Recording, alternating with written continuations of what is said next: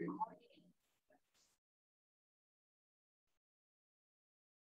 Assalamualaikum warahmatullahi wabarakatuh. Innal hamdalillah wassalatu wassalamu ala man la nabiyya ba'da. প্রিয় শিক্ষার্থীবৃন্দ আশা করি মহান আল্লাহ তাআলার অশেষ অনুগ্রহে তোমরা যে যেখানে আছো ভালো আছো আমিও আল্লাহ তাআলার অশেষ দয়ায় ভালো আছি। প্রিয় সপ্তম শ্রেণির শিক্ষার্থীবৃন্দ, তোমরা জানো সারা পৃথিবী ব্যাপী করোনা ভাইরাস ছড়িয়ে পড়েছে। এরই প্রেক্ষিতে সারা পৃথিবীর প্রতিষ্ঠানগুলো অফলাইন ক্লাস গ্রহণ করা থেকে বিরত রয়েছে। আমাদের বাংলাদেশেও ঠিক তাই।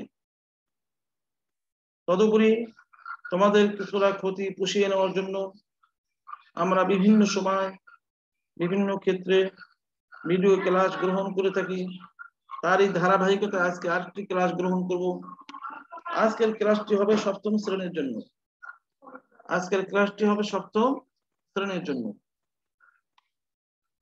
তা আমরা কোন ক্লাসটা গ্রহণ করব? আমি তোমাদের সামনে স্লাইডে দেখাবো। তোমরা স্লাইডের মাধ্যমে সব কিছু বুঝতে পারবে। তবে আজকের ক্লাসটি আমি নেব তোমাদের আরবি সাহিত্য বইয়ের প্রথম অধ্যায়। আমরা দেখি তোমাদের সাথে স্লাইড স্লাইডের মাধ্যমে ক্লাস গ্রহণ করি। স্ক্রিনে তোমরা দেখতে পাচ্ছ, তোমাদেরকে সর্বপ্রথম সালাম দেওয়া হয়েছে, আসসালামু আলাইকুম রহমতুল্লাহি আহলান সাহলান মারহাবান মুবারাকান। দেখো, একজন মুসলমান অপর মুসলমানের সাথে যখন দেখা হয়, তখন তাকে সালাম দিতে হয়। সালাম দেওয়াটা সুন্নত, সালামের জবাব নেওয়াটা অজিব তারপরে, আহলান বিকুম। তোমাকে ধন্যবাদ। আহলান সাহালান কেন বলা হয়? তোমরা জানো, আহলান কথাটি অর্থ হলো, আতাই তাহালান। অর্থাৎ তুমি তোমার পরিজনের কাছে এসেছ। সাহালান সাহালান মানে নরম জমিন। অতীত সাহালান অর্থাৎ তুমি নরম জমিন অতিক্রম করে এসেছ। মারহাবান বিকুম, তোমাকে অনেক ধন্যবাদ, তোমাকে স্বাগত জানাচ্ছি। রাহিবুকুম মারহাবান বিকুম। অর্থাৎ আহলান সাহালান কথাটি আরবের লোকেরা আগে যখন কোনো মেহমান আসতো, এখন যেরকম আমরা রাস্তাঘাট অত্যন্ত ভালো, গাড়ি ঘোড়া বেশ পাওয়া যায়। এবং ভালো গাড়ি আছে, এসি গাড়ি আছে। আগের যুগে এরকম ছিল না। মানুষ হেঁটে হেঁটে এক জায়গা থেকে আরেক জায়গায় যেত।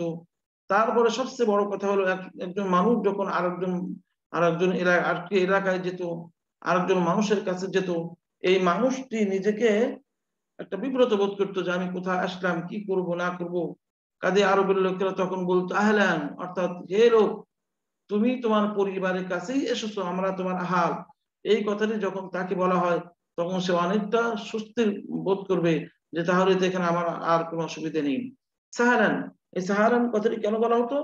সাহারান অর্থাৎ আগের যুগে মানুষ হেঁটে উটের পিঠে আরোহণ করে, সোয়ার হয়ে কষ্ট, অতি কষ্ট করে তারা এক জায়গা থেকে আর এক জায়গায় যেত। তখন তাকে বলা হতো, সাহারান অতীত সাহারান, ভাই আপনার তো তেমন কষ্ট হয় নাই। কষ্ট হলেও আমরা আগের যুগের লোকেরা বলতো যে আপনার তো তেমন কষ্ট হয়নি। এই কথা শোনা মাত্রই সেই লোকটার কষ্ট অনেকটা দূর হয়ে যেতে লাগু হতো। এজন্য আরব লোকেরা এই দুটি শব্দ ব্যবহার করে থাকে তোমাদেরকে আমি ধন্যবাদ দিচ্ছি, তোমাদেরকে স্বাগত জানাচ্ছি আজকের এই ক্লাস গ্রহণের, ক্লাসের জন্য। আমরা দেখি এরপরে কি আছে? স্যালারি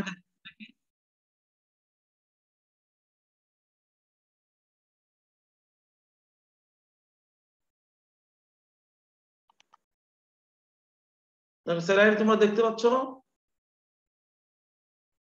দেখো, আল্লুগাতুল আরবি আল ইত্তিসালিয়া আল্লুগাতুল আরবিয়া আল ইত্তিসালিয়া দেখো, তোমরা ইতিমধ্যে দেখতে পাচ্ছ, তোমাদের বইটি চলে আসছে। বইটির মনোক এখানে চলে আসছে। দেখো, আল্লুগাতুল আরবি আল ইত্তিসালিয়া দাখিল সপ্তম শ্রেণি। তাহলে তোমাদের বই যেটা, সেটা তোমরা কি এখানে দেখতে পাচ্ছ? তাহলে বুঝতে পারলে আজকের ক্লাসটা তোমাদের বইতে কি হবে?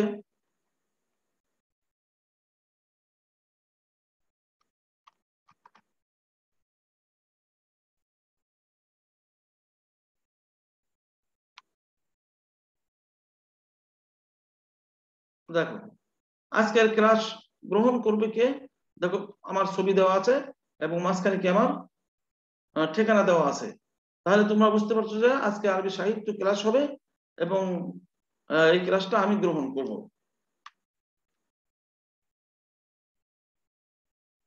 দেখো, আজকের পাঠটা কি হবে?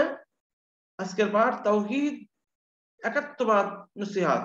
আজকের পাঠ হবে তাওহিদ সম্পর্কে, একাত্মবাদ সম্পর্কে এবং কি কিছু নসিহাত হবে, তাই না? এখানে দেখো, একটা ছবি দেখতে পাচ্ছ। একজন মারা মানুষ, সে অনেকগুলো ছাত্রকে কি করছে? কিছু উপদেশ দিচ্ছে, নসিহাত করছে। আর এই নসিহাতের মধ্যে কি? একাত্মবাদ সম্পর্কে আল্লাহ তালা একাত্মবাদ সম্পর্কে আল্লাহ যে এক, আল্লাহর কোনো শরীর নাই, আল্লাহর কোনো স্ত্রী নাই, আল্লাহর কোনো ছেলে মেয়ে নাই, আল্লাহর কোনো সমকক্ষ নেই, আল্লাহর কোনো দৃষ্টান্ত নেই, আল্লাহর পৃথিবীর কোনো বস্তুর সাথে আল্লাহকে দৃষ্টান্ত দেওয়া যাবে না। অর্থাৎ ইত্যাদি বিষয় নিয়ে তিনি নসিহাত করতেছেন। এর নাম কি একাত্মবাদ? তা আমরা একাত্মবাদ সম্পর্কে শুনলাম। একাত্মবাদ মানে একক, এক, অর্থাৎ আল্লাহ এক, আল্লাহর সাথে কোনো শরিক নাই আল্লাহ কারও মুখাফিকি নন? আল্লাহ কারও পরামর্শ করেন না। আল্লাহর এতে কোনো সন্তানাদি নেই, আল্লাহর কোন স্ত্রী নেই, আল্লাহ আগেও যেরকম ছিলেন, এখনও সেরকম আছেন, ভবিষ্যতে এরকমই থাকবেন। এই এই মর্মে বিশ্বাস করা এবং আল্লাহর কোনো দৃষ্টান্ত নেই, পৃথিবীর কোনো বস্তু আল্লাহর মতো না, পৃথিবীর কোনো জিনিস আল্লাহর মতো না এমন বিশ্বাস করার নাম হলো কি একাত্মবাদ এই, তোমাদের সামনে দেখো, এই যে মরানা সাহেব এই একাত্মবাদ সম্পর্কে নসিহাত করছেন। তাহলে তোমরা দেখতে পাচ্ছ যে একাত্মবাদ আজকের আলোচনা আমাদের কি? একাত্মবাদ সম্পর্কে হবে দেখি এরপর কি আসছে। দেখো, একটা ভিডিও চলে আসছে। এই ভিডিওতে দেখো আল্লাহ তালার গুণ কীর্তন করবে কোরআনে কেরিম তেলাওয়াত করবে। এটাও বোঝাবে কি আল্লাহ তালা এক, আমরা ভিডিওটা চালু করি, দেখো।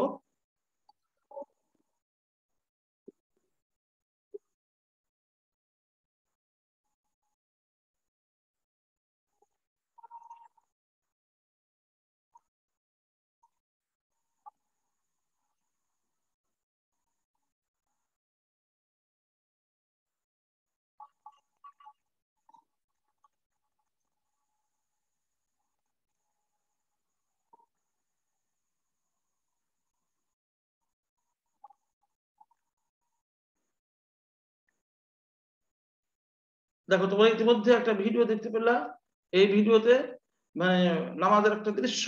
আর এই নামাজ একমাত্র আল্লাহ তালার জন্যই হয়ে থাকে। আল্লাহ এক, আল্লাহর গুণাবলী সম্বলিত এই নামাজ। এই নামাজ একমাত্র আল্লাহ তালার জন্যই পড়া হয়। আল্লাহ তালার কাছে সেজদা দেওয়া হয়। আল্লাহর কুদরতি পাই সেজদা দেওয়া হয়ে থাকে। কাজে এই ভিডিওটাও বোঝাচ্ছে কি, আজকের আলোচনা হবে আমাদের একাত্মবাদ তথা তাওহিদ সম্পর্কে। দেখো তো শিখন ফল। মানে আজকের পড়াটা পড়ে তোমরা কি কি শিখবে? আজকের আলোচনা থেকে কি জানবে? দেখি শিখন ফল কি দেওয়া আছে তোমাদের, দেখো। আজকের এই আলোচনা থেকে তোমরা জানবে নতুন নতুন শব্দের অর্থ লিখতে পারবে। দুই নম্বরে সর্বপ্রথম রসুল কে বলতে পারবে। রসুল এবং নবীর মধ্যে কি পার্থক্য? ইতিপূর্বে আলোচনা করা হয়েছে যে, এই সর্বপ্রথম রসুল কে ছিলেন? সেটাও তোমরা বলতে পারবে। তিন বিভিন্ন সম্প্রদায়কে ইসলামের ক্ষেত্রে কেমন পাওয়া যায় তা ব্যাখ্যা করতে পারবে।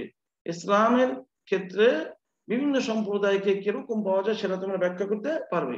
তাহলে আজকে সেগুন ফল মোটামুটি তিনটে সেগুন ফল দেওয়া হয়েছে, দেখো। এরপর দেখি তোমাদের সামনে কি আসছে? দেখো, দুইটা পাঠ আসছে। দেখো, আদর্শ পাঠ, সরব পাঠ। এই দেখো, সরব পাঠ। সবাই শুনছে, একজন, একটা মহিলা কি? একটা মেয়ে, সে বই থেকে পড়ছে। আর একটা আদর্শ পাঠ দেখো তো এখানে। স্যার পড়াচ্ছে এবং সকলেই তার মনোযোগ সহকারে শুনতেছে, স্যার বুঝাই দিতেছে। আর সরব পাঠ মানে সকলেই পড়বে। তবু একটা মেয়েকে স্যার হয়তো দাঁড় করে কি জিজ্ঞাসা করছে যে, আমরা এই দুই পাঠই তোমাদের সাথে ব্যবহার করে থাকি আদর্শ, কখনো আদর্শ পাঠ ব্যবহার করি, কখনো সরব পাঠকে আমরা ব্যবহার করে থাকি? প্রিয় শিক্ষার্থীবৃন্দ, দেখো, তোমাদের বইয়ের এবার চলে আসছে। আল ইসলাম দিন তৌহিদ, ইসলাম হলো তৌহিদের ধর্ম। মোহাম্মদ রসুল্লাহ আল্লাহ আল্লাহ তাআলা কোনো মোহাম্মদ সাল্লাম আল্লাহ তাআলা রাসূল। দেখো কি আছে এরপরে? দেখো এটা অর্থ চলে আসছে। আমি যে অর্থটা করলাম, অর্থটা ইতিমধ্যে এখানে চলে আসছে। দ্বিতীয় লাইন দেখো। আল্লাহ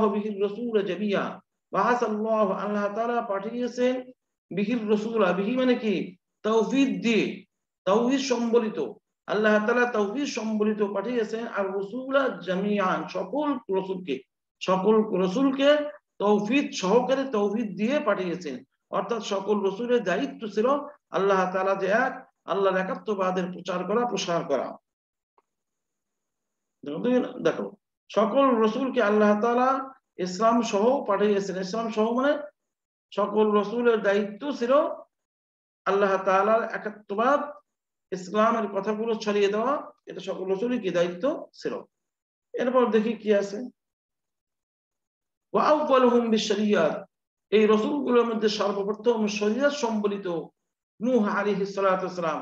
সর্বপ্রথম যাকে শরীয়ত দেওয়া হয়েছে তিনি হলেন হজরতে নূহ আলী সালাম ও আখরুহু মোহাম্মদ সাল্লাম এবং রসুলদের মধ্যে সর্বশেষ হজরত মোহাম্মদ সাল্লাম তাহলে তোমরা এখানে উপলব্ধি করতে পারলে, বুঝতে পারলে সর্বপ্রথম যিনি শরীয়ত নিয়ে এসেছিলেন হজরতে নূহ আলী সালাম আর সর্বশেষ যিনি শরীয়ত নিয়ে এসেছেন, তিনি হলেন হজরতে মোহাম্মদ রসুল্লাহ সাল্লাহ সাল্লাম দেখি অনুবাদ কি আসছে? দেখো তাদের মধ্যে সর্বপ্রথম নূহ আলী সাল্লাম এবং সর্বশেষ হজরত মোহাম্মদ সাল্লাহ সাল্লাম শরীয়ত নিয়ে প্রেরিত হন। আমি অনুবাদ আগেই করে দিয়েছি।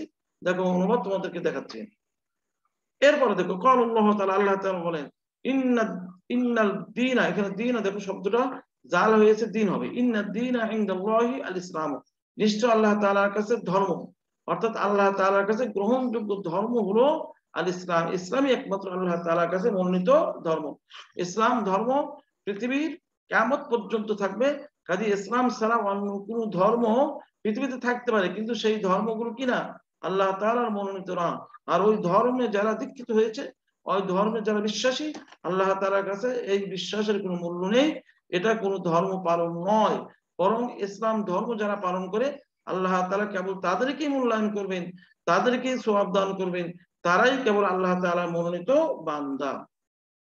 দেখো, আল্লাহ তালা বলেন নিশ্চয় ইসলাম হলো আল্লাহর নিকট মনোনীত জীবন বিধান। কাজে ইসলাম ছাড়া অন্য কোনো জীবন বিধান পালন করার কোনো সুযোগ নেই। প্রিয় শিক্ষার্থী বিন্দু দেখো, তোমাদের সামনে এবার কি আসছে? বল, ইসলাম ইসলাম কাকে বলে? উদ্দিন উল্লেদি ওই দেখো জাল আসছে, এটা ভুলে আসছে। উদ্দিন উল বাকি, ওই ধর্ম আল বাকি যা অবশিষ্ট থাকবে। মানে চিরস্থায়ী ধর্ম। বিহি, যার মাধ্যমে রহিত হয়েছে। জামিউল আদিয়ান তার পূর্বে সকল ধর্ম, অর্থাৎ ইসলাম ধর্ম আসার পর অতীতের যত ধর্ম ছিল, সব ধর্ম কি হয়ে গেছে? রহিত হয়ে গেছে। এখন তোমাদের প্রশ্ন হতে পারে, অতীতের ধর্মগুলো কি সঠিক ছিল না? হ্যাঁ সঠিক ছিল। অতীতের ধর্মর মৌলিক বিষয়গুলো, যেগুলো আমাদের প্রয়োজন, আল্লাহ তালা মৌলিক বিষয়গুলো ইসলাম ধর্ম, ধর্মের মধ্যে দিয়ে দিয়েছেন। অতএব ইসলাম ধর্ম আসার সাথে সাথে অতীতের সকল ধর্ম রহিত হয়ে গিয়েছে। ইসলাম ধর্ম পালন করা মানে হলো অতীতের সকল ধর্ম স্বীকার করা এবং তা পালন করা। দেখো আল্লাহ বলেন ইসলাম এটা দেখো গয়র হবে ফা হয়েছে, এটা ভুলে আসছে। ওমা ইয়াবতাগি, আর যে ব্যক্তি বা যারা অনুসন্ধান করবে ইসলাম ছাড়া, দিন অন্য কোনো ধর্ম ফালান ইউকবালা মিনহু, কখনো তার থেকে সেই ধর্ম গ্রহণ করা হবে না বা কবুল করা হবে না। আল্লাহ তাআলা বলেন, ইসলাম ছাড়া অন্য কোনো ধর্ম গ্রহণযোগ্য নয়। দেখো, এরপরে তোমাদের, এটি তোমাদের বইয়ের ইবারত কি আছে? ইসলাম ধর্মটি যোগ্যতা সম্পন্ন, উপযুক্ত। সকল কালের জন্য এবং সকল স্থানের জন্য। দেখো, এখানে অনুবাদ আছে, আর ইসলাম সর্বযুগে সর্বস্থান সর্বস্থানে প্রযোজ্য। এরপর দেখো অবাদিন আমুন একটি ব্যাপক ধর্ম। অবাদিন এমন ধর্ম লিজামিল বাশার যা অন্তর্ভুক্ত করে সমস্ত মানুষকে। লিদা কাফার এই জন্যই আল্লাহ তারা এর জামিন, আল্লাহ তারা নিজেই তার জিম্মাদারি নিয়েছে সংরক্ষণ করার জন্য। আল্লাহ তারা কোরআন করিমের কোরআন করিমের মধ্যে অনেক জায়গায় ইরশাদ করেছেন, ইসলাম ধর্মের সংরক্ষণ তিনি নিজেই কি করবেন? দেখো, এটা সকল মানুষের জন্য উপযুক্ত জীবন বিধান। এ কারণে দেখো, মহান আল্লাহ একে সংরক্ষণের দায়িত্ব নিয়েছেন। শিক্ষার্থীবৃন্দ, হয়তো তোমরা বুঝতে পারছ আমি তোমাদের প্রথম গল্প বলাচ্ছি তাই না? এরপরে কল আল্লাহ তাআলা আল্লাহ তাআলা বলেন তুম্মা জাআলনাকা আলা শারিআতিন মিনাল আমরি ফাত্তাবি'হা ওয়া লা তাত্তাবি'ি আহওয়া আল্লাযীনা লা ইয়ালামুন। তুম্মা জাআলনাকা, দেখো, কি অর্থ হচ্ছে এই দেখো, অর্থটা মহান আল্লাহ তাআলা বলেন, আমি আপনাকে ধর্মের বিশেষ বিধানের উপর প্রতিষ্ঠিত করেছি। সুতরাং আপনি তার অনুসরণ করুন। আর যারা মূর্খ, অজ্ঞ, তাদের অনুসরণ করবেন না। দেখো তুম্মা জাহালনাকা দেখো জাহালনা শিখে ওয়াহিদ মুতাকাল্লিম আর কাফটা বলতে মোহাম্মদ সাল্লাল্লাহু আলাইহি বোঝানো হয়েছে। অর্থাৎ হলো, অতঃপর আমি আপনাকে নির্ধারণ করেছি, আমি আপনাকে প্রতিষ্ঠিত করেছি। আলা শরীআতিম মিনাল আমরি, শরীয়তের এমন একটি বিষয়ের উপর। ফাত্তাবিআহা, আপনি সেই শরীয়তের অনুসরণ করুন। আরও সকল ব্যক্তিদের প্রবৃত্তির অনুসরণ করবেন না। লা যারা জানে না মূর্খ। দেখো, শব্দের অর্থ লেখো। শব্দের অর্থ লেখো। এইখানে দেখো লেখো কথাটি বানানটা হয়তো ভুলে চলে আসছে, ও কার হবে না। শব্দের অর্থ কি হবে? কি কি শব্দ আছে দেখো, দিন মানে জীবন বিধান। আরেকটা শব্দ দিয়ে নাসকন নাসকন মানে কি? রহিত করা আমি যে দেখাচ্ছি তোমাদেরকে নাসকন মানে কি রহিত করা আচ্ছা। এরপর আরেকটা শব্দ দেখি কি? তৌহিদ তৌহিদ মানে কি? দেখো একাত্মবাদ। এরপর দেখো তো ইবতাকি ইবতাকি অর্থ কি? ইবতাকি অর্থ সে তালাশ করে। দেখো, খোঁজ করা, না, খোঁজ করা হবে না। খোঁজ করে। এরপর দেখো বাহাসা। বাহাসা অর্থ কি? তিনি প্রেরণ করলেন। দেখো, প্রেরণ করা না। প্রেরণ যেহেতু বাহাসা ফেল অতএব প্রেরণ করা হবে না, প্রেরণ করলেন। দেখো, লাইন ইউকবাল ইউকবাল অর্থ কি? কখনো কবুল করা বা গ্রহণ করা হবে না। কখনো গ্রহণ করা হবে না। তোমরা শব্দের অর্থগুলো ইতিপূর্বে জেনে নিলা। এখন দেখো, একক কাজ। এই কাজগুলো ছিল তোমাদের একক। অর্থাৎ সবাই মিলে সবাই এই কাজটা করবে। এরপর দেখি তোমাদের সামনে কি আসছে? আরও কিছু একক কাজ দেখো মান আব্বাল রসুল, সর্বপ্রথম রসুল কে? দেখো, উত্তরটা কি হবে? নু আলী হিসালাম হু আব্বাল রসুল। দেখো, এরপর আবার কি? তোমাদের সামনে আবার আসছে, দেখো জোড়ায় কাজ এবার তোমরা জোড়ায় জোড়ায় করবে, দেখো। কদল আরটা কি? দেখো। রসুল কি? সালাসাতিন সাল্লামের পূর্বে তিনজন রসুলের নাম। মোহাম্মদ সাল্লাহ পূর্বে তিনজন রসুলের নাম কি হবে? উত্তর দেখো, ইসমু সালাসাতে মিনা রসুল। মোহাম্মদ সাল্লাহ সাল্লামের পূর্বে তিনজন রসুলের নাম হলো নুহ আলী সাল্লাম মুসা আলী সাল্লাম ইসা আলী সাল্লাম দেখো, বোর্ডের কাজ। কিছু কাজ আমরা তোমাদেরকে বোর্ডে এনে এনে লেখায় থাকি। এই বোর্ডে এনে লেখার মাধ্যমে অনেক উপকার হয়। অনেক উপকার কি? তোমার সাহস বৃদ্ধি হয়, তারপরে তোমার লেখা দেখে অন্যরা শিখে নেয়, তারপরে তোমার মধ্যে দক্ষতা তৈরি হয়। দেখো, কি করতে হবে? এই কাজগুলো। নসে উল্লেখিত নতুন শব্দগুলো তাহাকি বোর্ডে করে দেখা, করে দেওয়া যেতে পারে। অর্থাৎ নসের মধ্যে যে নতুন শব্দগুলো আছে এগুলোর তাহাকিকগুলো বোর্ডে এসে তোমরা কি করে দেবে? দেখো, এরপর তোমাদের সামনে কি আসছে?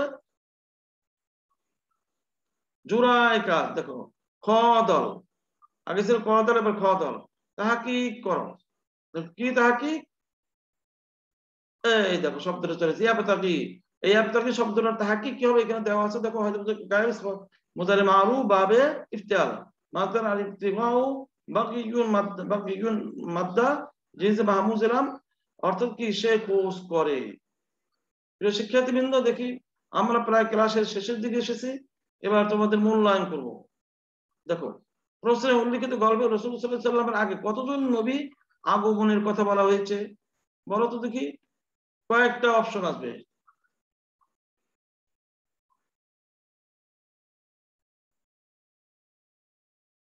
এই দেখো কয়েকটা অপশন দুইজন, তিনজন, চারজন, পাঁচজন। কজন হবে? আমরা কয়জনের কথা বলেছি? আমরা অবশ্যই বলেছি তিনজন। অর্থাৎ তিনজন নবীর কথা বলা হয়েছে। বাড়ির কাজ। এবার তোমরা বাড়িতে যাবে। বাড়িতে কি কাজগুলো করবে? দেখো, বাড়ির কাজটা কি? আজকের আলোচনা বলা, আলোচনায় বলা হয়েছে, আল্লাহ আমাদের উপাস্য উপাস্য যার উপাসনা করা হয় কথাটির ব্যাখ্যা লিখে নিয়ে আসবে, পাঠ্য বইয়ের আলোকে। তাহলে প্রিয় শিক্ষার্থীবৃন্দ, আজকে তোমাদের বাড়ির কাজটা দিলাম যে আল্লাহ আমাদের উপাস্য। তোমার পাঠ্য বইয়ের আলোকে এই কথাটার কি বিস্তারিত আলোচনা করবে? যে আল্লাহ উপাস্য, এই উপাস্য কাকে বলে? উপাসনা যার করা হয় তাকে উপাস্য বলে, এবং আমরা আল্লাহ তালার উপাসনা করি। যে আল্লাহ তালা কেন উপাসনা করি? আল্লাহ তালা আমাদের খাওয়ান আমাদের পড়ান আমাদের সকল কিছুর ব্যবস্থা করেন, আমাদের সৃষ্টি করেছেন। এই যে আল্লাহ তালা যে আমাদের উপাস্য, এর বিস্তারিত ব্যাখ্যা বাড়ি থেকে লিখে আমাকে দিবে। প্রিয় শিক্ষার্থীবৃন্দ, আমরা আজকের ক্লাস এখানে কি শেষ করতে যাচ্ছি? দেখো, সমাপ্ত। তাহলে প্রিয় শিক্ষার্থীবৃন্দ, আজকের আলোচনা থেকে আমরা কি জানতে পারলাম? তৌহিদ কাকে বলে? এবং মোহাম্মদ সাল্লাহ সাল্লামের পূর্বে, আহ, কয়জন নবীর কথা বলা হয়েছে সেই নবী সম্পর্কে জানতে পারলাম এবং আল্লাহ তালার কাছে একমাত্র গ্রহণযোগ্য ধর্ম হল ইসলাম। এ সম্পর্কেও জানতে পারলাম এবং দাসত্ব একমাত্র আল্লাহ তালা করতে হবে এই সম্পর্কে আমরা কি জানতে পারলাম। আর পৃথিবীতে ইসলাম ছাড়া অন্য যে ধর্মগুলো রয়েছে, এই ধর্মের কোনো মূল্য নেই, কারণ এই ধর্মে দীক্ষিত ব্যক্তিদেরকে আল্লাহ তালা কবুল করবেন না। এই ধর্ম অনুযায়ী, অর্থাৎ ইসলাম ছাড়া অন্য ধর্ম অনুযায়ী কোনো আমল করলে সে আমল আল্লাহ তালার কাছে কোনো গ্রহণযোগ্য আসবে না। প্রিয় শিক্ষার্থীবৃন্দ, তোমাদের সকলকে ধন্যবাদ। আজকের এই আলোচনা তোমরা মনোযোগ সহকারে শুনবে এবং ইয়েতে তোমরা আজকের এই আলোচনাটা মনোযোগ সহকারে শুনবে এবং পরীক্ষার জন্য প্রস্তুতি নেবে। আমি যে প্রশ্নগুলো করেছি, এই প্রশ্নগুলি তোমাদের সামনে কি থাকবে? ইনশা আল্লাহ আসসালামু আলাইকুম রহমতুল্লাহি